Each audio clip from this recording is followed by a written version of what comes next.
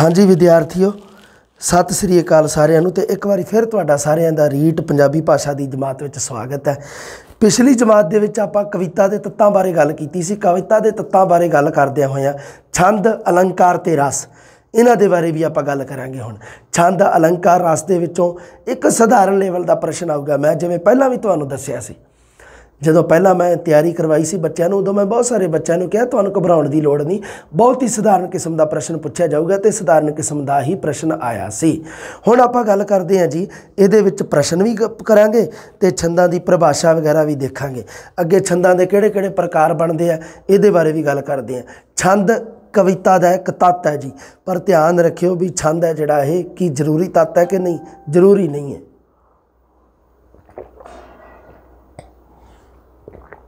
ਕਿਉਂਕਿ ਵਰਤਮਾਨ ਦੇ ਵਿੱਚ ਛੰਦ ਮੁਕਤ ਕਵਿਤਾ ਲਿਖੀ ਜਾ ਰਹੀ ਹੈ, ਛੰਦ ਤੋਂ ਬਿਨਾ। ਛੰਦ ਮੁਕਤ ਮਤਲਬ ਜਿਹਦੇ ਚ ਛੰਦ ਹੈ ਹੀ ਨਹੀਂ।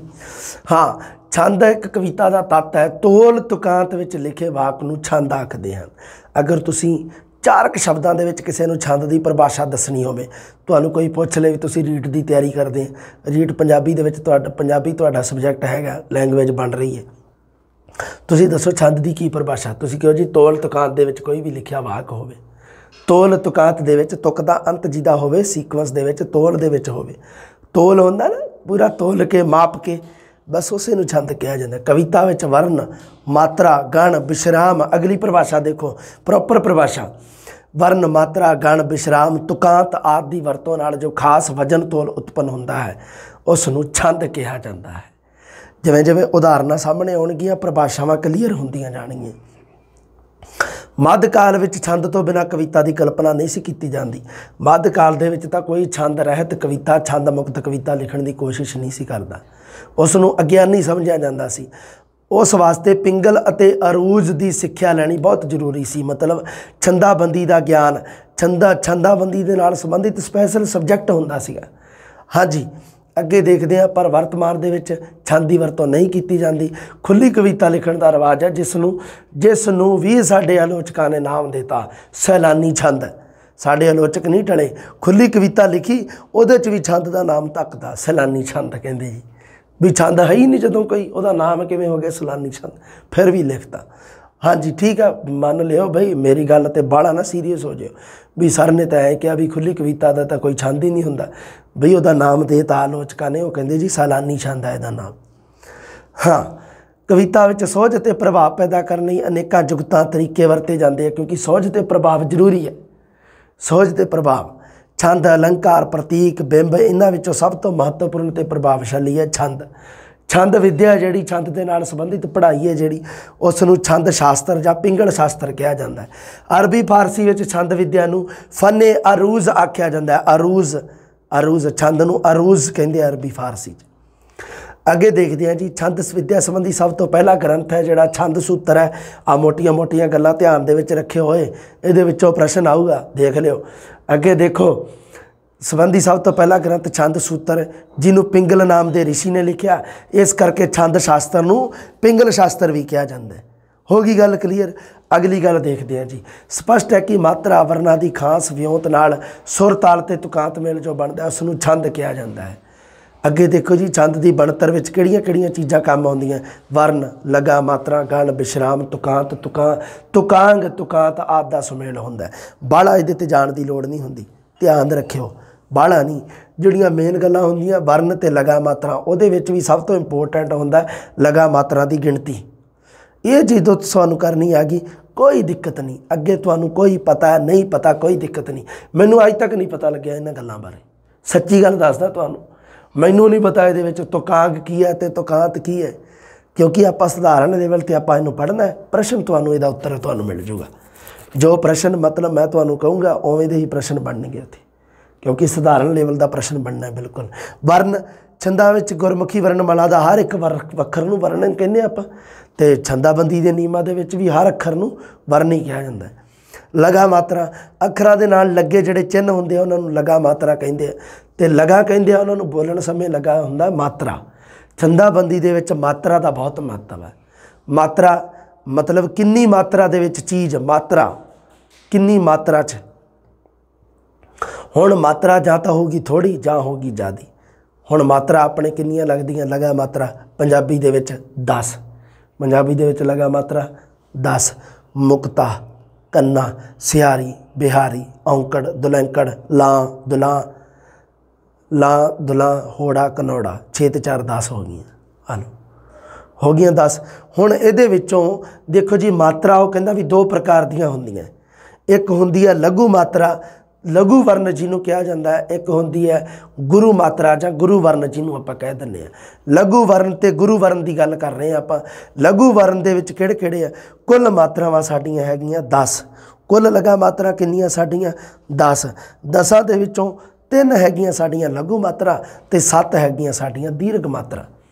ਤਿੰਨ ਸਾਡੇ ਲਘੂ ਵਰਨ ਤੇ ਸੱਤ ਹੈਗੇ ਆ ਸਾਡੇ ਦੀਰਘ ਜਾਂ ਗੁਰੂ ਜਿਨ੍ਹਾਂ ਨੂੰ ਆਪਾਂ ਕਹਿ ਦਿੰਨੇ ਆ ਤਿੰਨ ਕਿਹੜੇ ਕਿਹੜੇ ਆ ਲਗੂ ਮੁਕਤਾ ਸਿਹਾਰੀ ਤੇ ਔਂਕੜ, ਕਿਉਂਕਿ ਉਹਨਾਂ ਨੂੰ ਬੋਲਣ ਸਮੇਂ ਘੱਟ ਮਾਤਰਾ ਲੱਗਦੀ ਹੈ। ਘੱਟ ਮਾਤਰਾ ਘੱਟ ਮਾਤਰਾ ਲੱਗਦੀ ਹੈ। ਤੇ ਦੂਸਰੇ ਆ ਜਿਹੜੇ ਗੁਰੂ ਵਰਨ, ਉਹਨਾਂ ਨੂੰ ਬੋਲਣ ਸਮੇਂ ਘੱਟ ਮਾਤਰਾ ਨਾਲੋਂ ਜ਼ਿਆਦਾ ਸਮਾਂ ਲੱਗਦਾ ਹੈ, ਲਘੂ ਵਰਨਾਂ ਨਾਲੋਂ ਜ਼ਿਆਦਾ ਸਮਾਂ।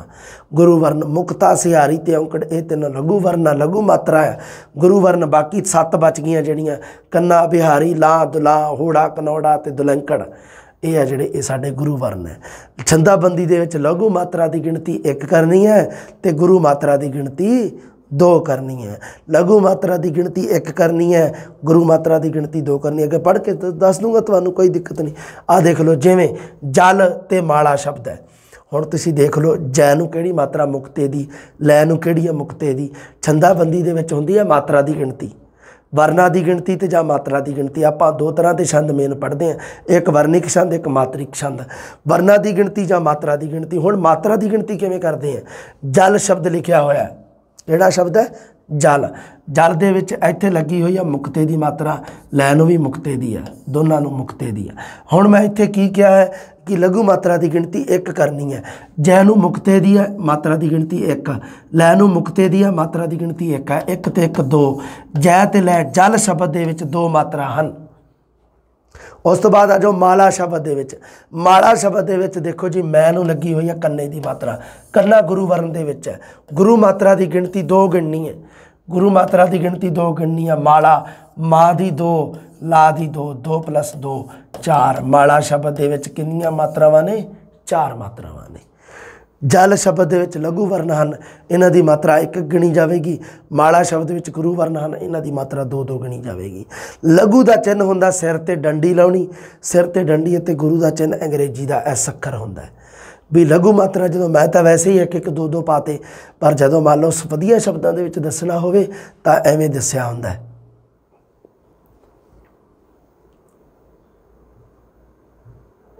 ਹਾਂ ਆ ਹੁਣੇ ਦੱਸ ਦੇਣਾ ਤੁਹਾਨੂੰ। ਇਹ ਲਘੂ ਦਾ ਚਿੰਨ੍ਹ ਹੈ ਜਿਹੜਾ ਹੁਣ ਇਹਦੇ ਤੇ ਲਘੂ ਮਾਤਰਾ ਇਹਦੇ ਤੇ ਐਵੇਂ ਇੱਕ ਪਾਇਆ ਜਾਂਦਾ ਹੈ। ਇੱਕ ਮਿੰਟ ਓਏ ਲੋਕ ਲਾ ਲਾ। ਹਾਂ। ਇਹਦੇ ਤੇ ਇੱਕ ਪਾਇਆ ਜਾਂਦਾ ਇੱਕ ਸਿਰ ਤੇ ਡੰਡੀ। ਲੈ ਤੋਂ ਵੀ ਲਘੂ ਮਾਤਰਾ, ਲਘੂ ਦੀ ਵੀ ਡੰਡੀ। ਹੁਣ ਉਹਨੇ ਕਿਹਾ ਵੀ ਗੁਰੂ ਦਾ ਚਿੰਨ੍ਹ ਅੰਗਰੇਜ਼ੀ ਦਾ ਹਿੱਸਾ ਹੈ। ਹੁਣ ਆਹ ਮੈਂ ਤੇ ਲੈ ਦੋਨਾਂ ਨੂੰ ਗੁਰੂ ਮਾਤਰਾ ਲੱਗੀਆਂ। ਇਹਨਾਂ ਦੇ ਉੱਪਰ ਐਸ ਲਿਖਿਆ ਜਾਂਦਾ। ਵੈਸੇ ਹੀ ਮਤਲਬ ਇੱਕ ਤਰੀਕਾ ਹੈ। ਜੇ ਅਗਰ ਤੁਹਾਡਾ ਅਭਿਆਸ ਚੰਗਾ ਹੋ ਗਿਆ, ਤੁਹਾਨੂੰ ਲਿਖਣ ਦੀ ਲੋੜ ਹੀ ਨਹੀਂ ਫਿਰ। ਮੈਂ ਤਾਂ ਕਦੇ ਨਹੀਂ ਲਿਖਿਆ, ਮੈਂ ਤਾਂ ਸਿੱਧੀਆਂ ਮਾਤਰਾਵਾਂ ਗਿਣਦਾ ਹੁੰਦਾ। ਛੋਟੀ ਨੂੰ ਇੱਕ ਗਿਣਨਾ ਤੇ ਵੱਡੀ ਨੂੰ ਦੋ ਗਿਣਨਾ, ਸੁਧਾਰਨ ਤਰੀ, ਬੈਸ ਠੀਕ ਹੈ। ਛੰਦਾਬੰਦੀ ਵਿੱਚ ਲਗਾਖਰਾਂ ਦੀ ਗਿਣਤੀ ਵੀ ਕੀਤੀ ਜਾਂਦੀ ਹੈ। ਧਿਆਨ ਰੱਖੋ ਲਗਾਖਰ ਵੀ ਤਾਂ ਹੈਗੇ ਆ। ਹੁਣ ਮਾਤਰਾਵਾਂ ਦੀ ਗਿਣਤੀ ਤਾਂ ਆਪਾਂ ਨੂੰ ਪਤਾ ਲੱਗ ਗਿਆ ਵੀ ਛੋਟੀ ਮਾਤਰਾ ਨੂੰ ਇੱਕ ਗਿਣਨਾ ਤੇ ਵੱਡੀ ਨੂੰ ਦੋ ਗਿਣਨਾ ਛੋਟੀ ਮਾਤਰਾ ਕਿਹੜੀ ਕਿਹੜੀ ਹੈ ਸਾਡੀ? ਮੁਕਤਾ, ਸਿਹਾਰੀ ਤੇ ਔਂਕੜ, ਇਹ ਤਿੰਨ ਛੋਟੀਆਂ, ਇਹਨਾਂ ਨੂੰ ਇੱਕ ਗਿਣਨਾ ਤੇ ਜਿਹੜੀਆਂ ਵੱਡੀਆਂ ਰਹਿ ਗਈਆਂ, ਬਾਕੀ ਸੱਤ ਵੱਡੀਆਂ ਉਹਨਾਂ ਨੂੰ ਦੋ ਗਿਣਨਾ ਬਿੰਦੀ, ਜੇ ਬਿੰਦੀ ਲਘੂ ਵਰਨ ਦੇ ਨਾਲ ਅਜੇ ਤਾਂ ਮਾਤਰਾ ਇੱਕ ਗਿਣਨੀ ਹੈ। ਕਿਉਂਕਿ ਇੱਕ ਲਘੂ ਮਾਤਰਾ ਦੀ ਹੋ ਜੂਗੀ, ਇੱਕ ਇਸ ਦੀ ਬਿੰਦੀ ਦੀ ਆਪਦੀ, ਇੱਕ ਤੇ ਇੱਕ ਦੋ। ਟਿੱਪੀ ਜੇ ਲਘੂ ਵਰਨ ਦੇ ਨਾਲ ਆਵੇ ਤਾਂ ਮਾਤਰਾ ਇੱਕ ਗਿਣੀ ਜਾਵੇਗੀ। ਅਧਕ ਦੀ ਮਾਤਰਾ ਇੱਕ ਹੀ ਗਿਣੀ ਜਾਂਦੀ ਹੈ ਹੁਣ ਨੋਟ ਲਾ ਕੇ ਇੱਕ ਗੱਲ ਧਿਆਨ ਨਾਲ ਰੱਖੋ। ਹਾਲਾਂਕਿ ਕੋਈ ਦਿੱਕਤ ਨਹੀਂ ਇਹਦੇ ਵਿੱਚ। ਛੰਦਾਬੰਦੀ ਦੇ ਨਿਯਮਾਂ ਦੀ ਸਭ ਤੋਂ ਵੱਡੀ ਮੈਂ ਤੁਹਾਨੂੰ ਗੱਲ ਦੱਸਾਂ। ਜਿਵੇਂ ਮੰਨ ਲਓ ਕੋਈ ਵੀ ਛੰਦ ਤੁਸੀਂ ਪੜ੍ਹ ਰਹੇ ਹੋ। ਮਾਤਰਾ ਇੱਕ ਦੀ ਘੱਟ ਵੱਧ ਹੋ ਜੇ ਤਾਂ ਵੀ ਕੋਈ ਦਿੱਕਤ ਨਹੀਂ ਹੁੰਦੀ। ਉੱਥੇ ਤੁਹਾਨੂੰ ਕੋਈ ਨਹੀਂ ਪੁੱਛਦਾ ਵੀ ਇਹਦੀ ਮਾਤਰਾ ਇੱਕ ਘੱਟ ਕਿਉਂ ਆ। ਵੀ ਇਸ ਕਰਕੇ ਕੋਈ ਨਹੀਂ, ਕਿਉਂਕਿ ਦੋ ਚਾਰ ਹੀ ਛੰਦ ਤੁਸੀਂ ਪੜ੍ਹਨੇ ਆ, ਬਸ ਉਹਨਾਂ ਨੂੰ ਕਾਮਨ ਤਰੀਕੇ ਨਾਲ ਯਾਦ ਰੱਖਣਾ। ਕੋਈ ਪਰਵਾਹ ਨਹੀਂ ਕਰਨੀ, ਇਹਦੇ ਨਿਯਮਾਂ ਦੇ ਵਿੱਚ ਨਹੀਂ ਫਸਣਾ। ਤੁਹਾਡੇ ਕੋਲੇ ਟਾਈਮ ਬਹੁਤ ਥੋੜਾ ਫਾਈਨਲ ਪੇਪਰ ਦੀ ਤਿਆਰੀ ਕਰਨੀ ਹੈ ਤੁਸੀਂ। ਇਹ ਗੱਲ ਹਮੇਸ਼ਾ ਮੇਰੀ ਯਾਦ ਰੱਖਣੀ ਹੈ ਕਿਉਂਕਿ ਇਹ ਗੱਲ ਧਿਆਨ ਵਿੱਚ ਰੱਖਣਾ। ਮੈਂ ਪਹਿਲਾਂ ਵੀ ਵਿਦਿਆਰਥੀਆਂ ਨੂੰ ਕਹਿੰਦਾ ਰਿਹਾ, ਵਿਦਿਆਰਥੀ ਤਾਂ ਵੀ ਉਹਦੇ ਵਿੱਚ ਹੀ ਫਸੇ ਰਹੇ। ਸਧਾਰਨ ਗੱਲ ਕਿਸੇ ਨੇ ਯਾਦ ਨਹੀਂ ਰੱਖਣੀ, ਉੱਥੇ ਸਧਾਰਨ ਪ੍ਰਸ਼ਨ ਹੈ। ਸੌਖਾ ਹੀ ਪ੍ਰਸ਼ਨ ਆ ਗਿਆ ਉੱਥੇ। ਹੁਣ ਵੀ ਐਂ ਹੋਊਗੀ। ਛੰਦਾਬੰਦੀ ਵਿੱਚ ਵਰਨ ਦੀ ਮਾਤਰਾ ਕਿਸੇ ਵੀ ਹਾਲਤ ਵਿੱਚ ਦੋ ਤੋਂ ਵੱਧ ਨਹੀਂ ਗਿਣੀ ਜਾਂਦੀ। ਅਰਥਾਤ ਦੋ ਤੋਂ ਵੱਧ ਨਹੀਂ ਗਿਣੀ ਜਾ ਸਕਦੀ। ਛੰਦਾਬੰਦੀ ਦੇ ਵਿੱਚ ਕਿਸੇ ਵੀ ਤਰ੍ਹਾਂ, ਮੰਨ ਲਓ ਕਿਸੇ ਅੱਖਰ ਦੇ ਵਿੱਚ, ਮੰਨ ਲਓ ਆਹ ਮਾੜਾ ਇਹਦੇ ਵਿੱਚੋਂ ਮੈਂ ਮੰਨ ਲਓ ਇੱਕ ਸ਼ਬਦ ਲਿਖਤਾ, ਮਾਂ। ਮਾਂ ਸ਼ਬਦ ਲਿਖਤਾ। ਹੁਣ ਮੈਂ ਨੂੰ ਵੱਡੀ ਮਾਤਰਾ ਲੱਗੀ ਹੋਈ ਹੈ। ਮਤਲਬ ਮਾਤਰਾ ਦੀ ਗਿਣਤੀ ਹੋ ਗਈ 2 ਹੁਣ ਤੁਸੀਂ ਕਹੋ ਸਰ ਬਿੰਦੀ ਦੀ ਵੀ ਇੱਕ ਗਿਣ ਲਓ, ਦੋ ਤੇ ਇੱਕ ਤਿੰਨ ਕਰ ਦਿਓ, ਨਹੀਂ ਹੋ ਸਕਦਾ। ਕਾਰਨ ਕੀ ਹੈ? ਕਿਉਂਕਿ ਕਿਸੇ ਵੀ ਹਾਲਤ ਦੇ ਵਿੱਚ ਮਾਤਰਾ ਦੋ ਤੋਂ ਵੱਧ ਨਹੀਂ ਗਿਣਨੀ। ਇੱਕ ਅੱਖਰ ਨੂੰ ਦੋ ਤੋਂ ਵੱਧ ਨਹੀਂ ਗਿਣ ਸਕਦੇ। ਦੋ ਹੋ ਗਈਆਂ ਪੂਰੀਆਂ, ਇਹਦਾ ਮਤਲਬ ਹੈ ਇਹਦੀ ਗਿਣਤੀ ਕਰਨ ਦੀ ਲੋੜ ਨਹੀਂ ਤੁਹਾਨੂੰ। ਬਸ ਦੋ ਪੂਰੀਆਂ ਕਰਨੀਆਂ। ਜਦੋਂ ਦੋ ਹੋ ਗਈਆਂ, ਕਿਸੇ ਦੇ ਤਾਂ ਇੱਕ ਪੂਰੀ ਇੱਕ ਹੀ ਹੋਊਗੀ। ਹਨਾ? ਵੀ ਹੁਣ ਜਲ ਸ਼ਬਦ ਦੇ ਵਿੱਚ ਆਪਾਂ ਦੋ ਧੱਕੇ ਨਾ ਕਿੱਥੋਂ ਬਣਾ ਦਈਏ? ਹੁਣ ਜੈ ਨੂੰ ਧੱਕੇ ਨਾ ਦੋ ਕਿਤ ਕਿਵੇਂ ਲਾ ਦਈਏ? ਕਿਉਂਕਿ ਮਾਤਰਾ ਹੀ ਇੱਕ ਹੈ। ਪਰ ਜਦੋਂ ਆਪਾਂ ਕਿਸੇ ਦੇ ਦੋ ਹੀ ਲੱਗ ਰਹੀਆਂ, ਧੱਕੇ ਨਾ ਤਿੰਨ ਨਹੀਂ ਬਣਾਉਣੀਆਂ। ਤੀਸਰੀ ਨਹੀਂ ਵਿੱਚ ਜੋੜਨੀ, ਦੋ ਹੀ ਰਹਿਣਗੀਆਂ। ਇਸ ਨਿਯਮ ਦਾ ਮਤਲਬ ਇਹ ਹੈ। ਆ ਦੇਖ ਲਓ ਦੁਬਾਰੇ। ਨੋਟ ਲਾ ਕੇ ਜਿਹੜੀ ਗੱਲ ਲਿਖੀ ਹੋਈ ਹੈ ਮੇਰੀ। ਛੰਦਾਬੰਦੀ ਵਿੱਚ ਵਰਨ ਦੀ ਮਾਤਰਾ ਕਿਸੇ ਵੀ ਹਾਲਤ ਵਿੱਚ ਦੋ ਤੋਂ ਵੱਧ ਨਹੀਂ ਹੋ ਸਕਦੀ। ਮਤਲਬ 3 ਨਹੀਂ ਹੋ ਸਕਦੀ। ਮਿਨੀਮਮ 1 ਹੋਊਗੀ, ਮੈਕਸਿਮਮ 2 ਹੋਊਗੀ। ਮਿਨੀਮਮ 1 ਮੈਕਸਿਮਮ 2 ਉੱਪਰ ਬਿੰਦੀ ਲੱਗੀ ਹੈ, ਟਿੱਪੀ ਲੱਗੀ ਹੈ, ਅਦਕ ਲੱਗੀ ਕੁਝ ਵੀ ਲੱਗਿਆ ਭਾਵੇਂ। ਹਾਂ, ਛੋਟੀ ਮਾਤਰਾ ਨੂੰ ਪਤਾ ਆਪਾਂ ਇੱਕ ਗਿਣਦੇ ਆ ਹਨਾ? ਹੁਣ ਜਿਵੇਂ ਮੰਨ ਲਓ ਇੱਕ ਸ਼ਬਦ ਲਿਖਿਆ ਹੋਇਆ, ਲਓ ਵੀ ਆ ਜਾਓ ਫਿਰ, ਉਦਾਹਰਨ ਹੀ ਦੇ ਦਿੰਦਾ। ਇੱਕ ਸ਼ਬਦ ਹੈ, ਇੱਕ ਲਿਖਿਆ ਹੋਇਆ। ਹੁਣ ਈਡੀ ਨੂੰ ਛੋਟੀ ਮਾਤਰਾ ਲੱਗੀ ਹੈ। ਈਡੀ ਨੂੰ ਛੋਟੀ ਮਾਤਰਾ ਦੀ ਗਿਣਤੀ 1 ਹੋ ਗਈ। ਉੱਤੇ ਅਧਕ ਵੀ ਲੱਗਿਆ ਅਧਕ ਨੂੰ ਵੀ 1 ਗਿਣ ਲੈਣਾ 1 ਤੇ 1 2 ਹੁਣ ਐ ਨਹੀਂ ਵੀ ਅੱਧਕ ਨੂੰ ਦੋ ਗਣ ਲਓ, ਤੁਸੀਂ ਇੱਕ ਨਹੀਂ, ਇੱਕ ਹੀ ਗਣਨਾ, ਕਿਉਂਕਿ ਇੱਕ ਦੋ ਹੀ ਮੈਕਸਿਮਮ ਕਿੰਨੀ ਮਾਤਰਾ ਹੋ ਸਕਦੀ ਹੈ ਇੱਕ ਨੂੰ ਲੱਗੀ? ਦੋ ਹੋ ਸਕਦੀਆਂ। ਹੁਣ ਕਹਿਣ ਨੂੰ ਤੁਹਾਨੂੰ ਪਤਾ ਵੀ ਇੱਕ ਹੀ ਲੱਗੀ ਆ ਮੁਕਤੇ ਦੀ, ਇਸ ਕਰਕੇ ਇੱਕ ਹੋ ਗਈ। ਇੱਕ ਸ਼ਬਦ ਦੇ ਵਿੱਚ 2 1 ਬਰਾਬਰ ਤਿੰਨ ਮਾਤਰਾਵਾਂ ਹਨ ਟੋਟਲ ਠੀਕ ਹੈ? ਹੁਣ ਅੱਗੇ ਇੱਕ ਹੋਰ ਸ਼ਬਦ ਦੇਖੋ, ਉਂਗਲ ਸ਼ਬਦ ਹੈ, ਬਿੰਦੀ ਦਾ ਉਦਾਹਰਨ ਦੇਖ ਲਓ। ਮੰਨ ਲਓ ਉਂਗਲ ਸ਼ਬਦ ਲਿਖਿਆ ਹੋਇਆ ਓਹੋ। ਹਾਂ, ਆ ਜਾਓ। ਉਂਗਲ ਉਂਗਲ ਸ਼ਬਦ ਲਿਖਿਆ ਹੋਇਆ। ਹੁਣ ਉਂਗਲ ਸ਼ਬਦ ਦੇ ਵਿੱਚ ਊੜੇ ਨੂੰ ਔਂਕੜ ਦੀ ਮਾਤਰਾ ਲੱਗੀ ਹੈ, ਜਿਹਦੀ ਗਿਣਤੀ 1 ਹੈ। ਉੱਪਰ ਬਿੰਦੀ ਲੱਗੀ ਆ ਊੜੇ ਤੇ, ਇਹਦੀ ਇੱਕ ਮਾਤਰਾ ਗਿਣ ਲਓ 1 ਤੇ 1 2 ਬਣੂਗੀ। ਊੜੇ ਨੂੰ ਦੋ ਮਾਤਰਾਵਾਂ ਬਣਨੀਆਂ ਹੁਣ ਐ ਨਹੀਂ ਵੀ ਬਿੰਦੀ ਨੂੰ ਦੋ ਗਿਣ ਲਓ, ਇੱਥੇ ਤਿੰਨ ਬਣਾ ਦਿਓ ਮੈਂ ਤੁਹਾਨੂੰ ਕਿਹਾ ਵੀ ਤਿੰਨ ਕਿਸੇ ਵੀ ਹਾਲਤ 'ਚ ਨਹੀਂ ਹੋਊਗੀ। ਰੂਲ ਵੈਸੇ ਤੁਹਾਨੂੰ ਯਾਦ ਕਰਵਾਈ ਜਾਣਾ ਇਹ ਤਿੰਨ ਨਹੀਂ ਹੋਣਗੀਆਂ, ਮਾਤਰਾ ਦੋ ਹੀ ਰਹਿਣਗੀਆਂ। ਗੈ ਤੇ ਲੈ ਨੂੰ ਤੁਹਾਨੂੰ ਪਤਾ ਹੀ ਹੈ ਕਿ ਕੀ ਲੱਗੀ ਹੋਈ ਹੈ। ਸੋ ਇਹ ਇਹ ਦੋ ਹੋ ਗਈਆਂ 2 1 1 ਕਿੰਨੀ ਹੋ ਗਈਆਂ? 4 ਉਂਗਲ ਸ਼ਬਦ ਨੂੰ ਚਾਰ ਮਾਤਰਾਵਾਂ ਲੱਗੀਆਂ ਹੋਈਆਂ ਹਨ। ਅੱਗੇ ਦੇਖੋ ਜੀ ਕੀ ਕੁਛ ਹੈ। ਅਦਕ ਦੀ ਮਾਤਰਾ ਹੋ ਗਈ ਗੱਲ ਕਲੀਅਰ ਹੁਣ ਅੱਗੇ ਜੀ ਗਣ ਕਿਹਨੂੰ ਕਹਿੰਦੇ ਆ? ਛੰਦ ਦੀ ਚਾਲ ਬੰਨਣ ਲਈ ਗਣ ਦੀ ਵਰਤੋਂ ਹੁੰਦੀ ਹੈ। ਕੁਛ ਨਹੀਂ, ਧਿਆਨ ਦੇ ਵਿੱਚ ਰੱਖਣਾ ਗਣ ਸੰਬੰਧੀ ਗੱਲ। ਗਣ ਦੀ ਵੈਸੇ ਕਾਮਨ ਗੱਲ ਰੱਖ ਲਿਓ। ਗਣ ਨੂੰ ਕੀ ਕਿਹਾ? ਅੱਖਰਾਂ ਜਾਂ ਮਾਤਰਾਂ ਦੇ ਜੋੜ ਨੂੰ ਗਣ ਆਖਿਆ ਜਾਂਦਾ ਹੈ। ਕੁਛ ਨਹੀਂ, ਇਹਦਾ ਕੁਛ ਵੀ ਨਹੀਂ ਲੈਣਾ ਦੇਣਾ। ਇਹਦਾ ਛੰਦਾਂ ਦੇ ਨਾਲ ਤੁਹਾਡੇ ਤਾਈਂ ਕੋਈ ਮਤਲਬ ਨਹੀਂਗਾ ਸਿਰਫ ਗੱਲ ਵਰਨਿਕ ਗਣ 8 ਹਨ ਤੇ ਮਾਤਰਿਕ ਗਣ 5 ਹਨ। ਬਸ ਜੀ, ਗੱਲ ਖਤਮ। ਯਾਦ ਰੱਖ ਲਿਓ ਇੰਨੀ ਗੱਲ। ਚਰਨ ਕਿਹਨੂੰ ਕਹਿੰਦੇ ਆ? ਚਰਨਾਂ ਦਾ ਵੈਸੇ ਤਾਂ ਸੰਬੰਧ ਮਤਲਬ ਹੁੰਦਾ ਪੈਰ। ਹਨਾ? ਪਰ ਇੱਥੇ ਕੀ ਹੈ? ਛੰਦਾਬੰਦੀ ਦੇ ਵਿੱਚ ਚਰਨ ਦਾ ਮਤਲਬ ਕੀ ਹੈ? ਤੁਕ ਵਿੱਚ ਠਹਿਰਾਓ ਤੱਕ ਦੇ ਹਿੱਸੇ ਨੂੰ ਚਰਨ ਆਖਿਆ ਜਾਂਦਾ ਹੈ। ਠਹਿਰਾਓ ਵਿਸ਼ਰਾਮ। ਵਰਤਮਾਨ ਵਿੱਚ ਪੂਰੀ ਇੱਕ ਤੁਕ ਚਰਨ ਹੁੰਦੀ ਹੈ। ਹੁਣ ਸਗਲ ਦੁਆਰ ਕੋ ਛਾੜ ਕੇ ਗਏ ਤੁਹਾਰੋ ਦੁਆਰ। ਠਹਿਰਾਓ ਤੱਕ ਦੇ ਹਿੱਸੇ ਨੂੰ ਚਰਨ ਆਖਿਆ ਜਾਂਦਾ ਹੈ। ਸਗਲ ਦੁਆਰ ਕੋ ਛਾੜ ਕੇ ਇੱਥੇ ਠਹਿਰਾਓ। ਹੈ ਇੱਥੇ ਇੱਕ ਚਰਨ ਹੋ ਗਿਆ। ਗਏ ਤੁਹਾਰੋ ਦੁਆਰ, ਇੱਥੇ ਦੋ ਚਰਨ ਹੋ ਗਏ। ਇਹ ਸਤਰ ਵਿੱਚ ਦੋ ਚਰਨ ਵਿਸ਼ਰਾਮ ਤੁਕਾਂ ਦੇ ਵਿਚਾਲੇ ਜਾਂ ਅੰਤ ਵਿੱਚ ਆਏ ਠਹਿਰਾਵ ਨੂੰ ਸ਼ੁਰੂ ਵਿੱਚ ਜਾਂ ਅੰਤ ਵਿੱਚ ਇੱਥੇ ਪੂਰਨ ਵਿਸ਼ਰਾਮ ਲੱਗਾ ਹੋਵੇ ਉਹਨਾਂ ਨੂੰ, ਵਿਸ਼ਰਾਮ। ਤੁਕ ਕਵਿਤਾ ਦੀ ਹਰ ਇੱਕ ਸਤਰ ਨੂੰ ਤੁਕ ਜਾਂ ਲਾਈਨ ਆਖਦੇ ਹਨ, ਤੁਕ ਕਿਹਾ ਜਾਂਦਾ, ਹਰ ਇੱਕ ਸਤਰ ਨੂੰ ਲਾਈਨ ਨੂੰ। ਤੁਕਾਂਗ ਤੁਕ ਦੇ ਅੰਗ ਨੂੰ ਆਖਿਆ ਜਾਂਦਾ ਵਿਸ਼ਰਾਮ ਹੀ ਤੁਕਾਂਗ ਹੁੰਦਾ ਹੈ, ਤੁਕ ਦਾ ਅੰਗ। ਐਸ ਤੁਕ ਦੇ ਕਿੰਨੇ ਅੰਗ ਹੈ ਜੀ? ਦੋ, ਵਿਸ਼ਰਾਮ ਤੋਂ ਪਤਾ ਲੱਗਦਾ ਤੁਕਾਂਤ, ਤੁਕ ਦੇ ਅੰਤ ਵਿੱਚ ਆਏ ਸ਼ਬਦ ਨੂੰ ਤੁਕਾਂਤ ਆਖਦੇ ਹਨ। ਦੁਆਰ ਸ਼ਬਦ ਤੁਕਾਂਤ ਹੈ, ਤੁਕ ਦਾ ਅੰਤ। ਛੰਦਾਂ ਦੇ ਪ੍ਰਕਾਰ ਹੁੰਦੇ ਆ ਦੀ ਤਿੰਨ ਪ੍ਰਕਾਰ ਦੇ ਹੁੰਦੇ ਆ ਛੰਦ। ਇੱਕ ਵਰਣਿਕ, ਇੱਕ ਮਾਤਰਿਕ, ਇੱਕ ਗਣਿਕ। ਧਿਆਨ ਰੱਖਿਓ, ਛੰਦ ਕਿੰਨੇ ਪ੍ਰਕਾਰ ਦੇ ਆ? ਤਿੰਨ ਪ੍ਰਕਾਰ ਦੇ, ਵਰਣਿਕ, ਮਾਤਰਿਕ, ਗਣਿਕ। ਵਰਣਿਕ, ਮਾਤਰਿਕ, ਗਣਿਕ। ਇਹ ਆ ਸਾਡੇ ਤਿੰਨ ਪ੍ਰਕਾਰ ਹੁੰਦੇ ਹਨ। ਸਭ ਤੋਂ ਪਹਿਲਾਂ ਆਪਾਂ ਗੱਲ ਕਰਦੇ ਹਾਂ ਸਾਡੇ ਵਰਣਿਕ ਛੰਦ ਦੀ। ਵਰਣਿਕ ਛੰਦ ਬਾਰੇ ਆਪਾਂ ਗੱਲ ਕਰ ਰਹੇ ਹਾਂ ਤੇ ਵਰਨ ਵਰਨ ਦਾ ਸ਼ਾਬਦਿਕ ਅਰਥ ਪਤਾ ਹੀ ਤੁਹਾਨੂੰ ਅੱਖਰ ਹੀ ਬਣਦਾ ਹੈ ਨਾ, ਵਰਨ ਵਰਨ ਆਪਾਂ ਅੱਖਰ ਨੂੰ ਵੀ ਕਹਿ ਦਿੰਦੇ ਹਾਂ, ਵਰਨ। ਜਿਸ ਛੰਦ ਵਿੱਚ ਵਰਨਾਂ ਦੀ ਗਿਣਤੀ ਮਿਣਤੀ ਦੁਆਰਾ ਤੋਲ ਤਕਾਂਤ ਪੈਦਾ ਕੀਤਾ ਜਾਵੇ ਉਸ ਨੂੰ ਵਰਨਿਕ ਛੰਦ ਕਿਹਾ ਜਾਂਦਾ ਹੈ। ਜਿਹੜੇ ਛੰਦ ਦੇ ਵਿੱਚ ਵਰਨਾਂ ਦੀ ਗਿਣਤੀ ਉੱਪਰ ਜਿਹੜਾ ਮੈਂ ਤੁਹਾਨੂੰ ਸਿਖਾਇਆ ਸੀ, ਉਹ ਮਾਤਰਾਵਾਂ ਦੀ ਗਿਣਤੀ ਸੀ। ਵਰਨਾਂ ਦੀ ਗਿਣਤੀ ਕਰਨੀ ਤਾਂ ਬਹੁਤ ਸੌਖੀ ਹੈ, ਕੋਈ ਦਿੱਕਤ ਨਹੀਂ। ਆ ਜਿਵੇਂ ਵਰਨਿਕ ਛੰਦ ਕਿਵੇਂ ਮਾਤਰਾ ਦੀ, ਵਰਨਾਂ ਦੀ ਗਿਣਤੀ ਕਰਨੀ ਆ ਤਾਂ ਵਰਨਿਕ ਸ਼ਬਦ ਦੇ ਵਿੱਚ ਹੀ ਕਿੰਨੇ ਵਰਨ ਹੈ? ਚਾਰ ਵਰਨ ਹੈ। ਛੰਦ ਸ਼ਬਦ ਦੇ ਵਿੱਚ ਦੋ ਵਰਨ ਹੈ। ਕੋਈ ਦਿੱਕਤ ਨਹੀਂ। ਜਿਸ ਸ਼ਬਦ ਦੇ ਵਿੱਚ ਦੋ ਵਰਨ ਹੈ, ਛੰਦ ਸ਼ਬਦ ਦੇ ਵਿੱਚ ਦੋ ਵਰਨ ਹੈ, ਵਰਨਾ ਸ਼ਬਦ ਦੇ ਵਿੱਚ ਤਿੰਨ ਵਰਨ ਹੈ। ਤਿੰਨ ਹੀ ਹੈ। ਗਿਣਤੀ ਦੇ ਵਿੱਚ ਤਿੰਨ ਹੈ ਜੀ। ਹੈਨਾ? ਹੈ ਦੇ ਵਿੱਚ ਇੱਕ ਵਰਨ ਹੈ। ਦਵਈਆ ਦੇ ਵਿੱਚ ਚਾਰ ਵਰਨ ਹੈ। ਕੋਈ ਦਿੱਕਤ ਨਹੀਂ ਨਾ। ਜ਼ਿਆਦਾਤਰ ਦੇ ਵਿੱਚ ਪੰਜ ਵਰਨ ਹੈ। ਜ਼ਿਆਦਾਤਰ ਸ਼ਬਦਾਂ ਦੀ ਵੈਸੇ ਹੀ ਉਦਾਹਰਣ ਦੇ ਰਿਹਾ ਤੁਹਾਨੂੰ ਵੀ ਵਰਨ ਤਾਂ ਸੌਖੇ ਹੀ ਗਿਣੇ ਜਾ ਸਕਦੇ ਆ, ਵਰਨ ਜਾਂ ਅੱਖਰ। ਮਾਤਰਾਵਾਂ ਦੀ ਗਿਣਤੀ ਬਾਰੇ ਤੁਹਾਨੂੰ ਦੱਸਦਾ ਮੈਂ। ਹਾਂਜੀ, ਅੱਗੇ ਆ ਗਿਆ ਜੀ, ਕਬਿੱਤ ਅਤੇ ਕੋਰੜਾ ਦੋਨੋਂ ਵਰਣਿਕ ਛੰਦ ਹਨ। ਇਹਦੇ ਵਿੱਚ ਵਰਨਾਂ ਦੀ ਗਿਣਤੀ ਕੀਤੀ ਜਾਂਦੀ ਹੈ। ਕਬਿੱਤ ਅਤੇ ਕੋਰੜਾ ਦੋਨੋਂ ਵਰਣਿਕ ਛੰਦ ਸਭ ਤੋਂ ਪਹਿਲਾਂ ਤਾਂ ਆਹ ਧਿਆਨ ਰੱਖਿਓ ਪ੍ਰਸ਼ਨ ਤੁਸੀਂ। ਉਹਨੇ ਪੁੱਛਣਾ ਵੀ ਇਹਨਾਂ ਵਿੱਚੋਂ ਵਰਣਿਕ ਛੰਦ ਕਿਹੜਾ ਹੈ ਜਾਂ ਕਿਹੜਾ ਵਰਣਿਕ ਛੰਦ ਨਹੀਂ ਹੈ। ਫਿਰ ਉੱਥੇ ਤੁਸੀਂ ਭੰਬਲ ਭੂਸੇ 'ਚ ਪੈ ਜਾਣਾ ਵੀ ਆਹ ਕੀ ਹੋ ਗਿਆ ਸਾਡੇ ਨਾਲ। ਸਾਰਾ ਅਸੀਂ ਤਾਂ ਬੁਝਾਦ ਕੀਤੇ, ਅਸੀਂ ਤਾਂ ਮਾਤਰਾ ਗਿਣਦੇ ਰਹਿ ਗਏ, ਅਸੀਂ ਤਾਂ ਅੱਖਰ ਗਿਣਦੇ ਰਹਿ ਗਏ ਆ ਤਾਂ ਸਾਨੂੰ ਪਤਾ ਹੀ ਨਹੀਂ ਲੱਗਿਆ, ਇਸ ਕਰਕੇ ਧਿਆਨ ਰੱਖਿਓ। ਦੋਨੇ ਵਰਣਿਕ ਛੰਦ ਹੈ ਕਬਿਤ ਅਤੇ ਕੋਰੜਾ। ਵੈਸੇ ਵੀ ਕੈ ਕਬਿਤ, ਕੈ ਕੋਰੜਾ ਦੋਨੋਂ ਕੈ ਕਬੂਤਰ ਲਿਖੇ ਹੋਏ ਆ ਦੋਨਾਂ ਦੇ ਅੱਗੇ। ਤੇ ਕੈ ਕਬੂਤਰ ਸਾਡੇ ਵਰਨ ਆ ਜਿਹੜੇ ਆਪਾਂ ਆਮ ਕਰਕੇ ਜਦੋਂ ਵਰਨ ਬੱਚੇ ਨੂੰ ਸਿਖਾਉਨੇ ਆ ਤਾਂ ਕੈ ਕਬੂਤਰ ਤੋਂ ਸਿਖਾਉਨੇ ਆ। ਇਸ ਕਰਕੇ ਵਰਨ ਮਤਲਬ ਕੈ ਕਬੂਤਰ ਤੋਂ ਸਿਖਾਉਨੇ ਆ ਤੇ ਕਹਿ ਤੋਂ ਹੀ ਸ਼ੁਰੂ ਹੁੰਦੇ ਆ ਕਬਿਤ ਅਤੇ ਕੋਹਰੜਾ ਯਾਦ ਰੱਖਣ ਦਾ ਇੱਕ ਤਰੀਕਾ ਹਲਕਾ ਜਿਹਾ। ਹੂੰ, ਬਾਕੀ ਸਾਰੇ ਤੁਹਾਨੂੰ ਪਤਾ ਮਾਤਰਿਕ ਛੰਦ ਹੀ ਹੋਣਗੇ। ਵਰਣਿਕ ਤੇ ਮਾਤਰਿਕ ਦੋ ਹੀ ਪੜ੍ਹਦੇ ਆਪਾਂ ਗਣਿਕ ਛੰਦ ਤਾਂ ਆਪਾਂ ਪੜ੍ਹਨਾ ਹੀ ਨਹੀਂ ਕੋਈ। ਮਾਤਰਿਕ ਛੰਦ, ਮਾਤਰਾ ਦੀ ਗਿਣਤੀ ਮਿਣਤੀ ਦੁਆਰਾ ਤੋਲ ਤੁਕਾਂਤ ਪੈਦਾ ਕੀਤਾ ਜਾਵੇ। ਵਰਣਿਕ ਛੰਦ ਦੇ ਵਿੱਚ ਵਰਨਾ ਦੀ ਗਿਣਤੀ ਮਿਣਤੀ ਦੁਆਰਾ ਤੋਲ ਤੁਕਾਂਤ ਪੈਦਾ ਕੀਤਾ ਜਾਵੇ।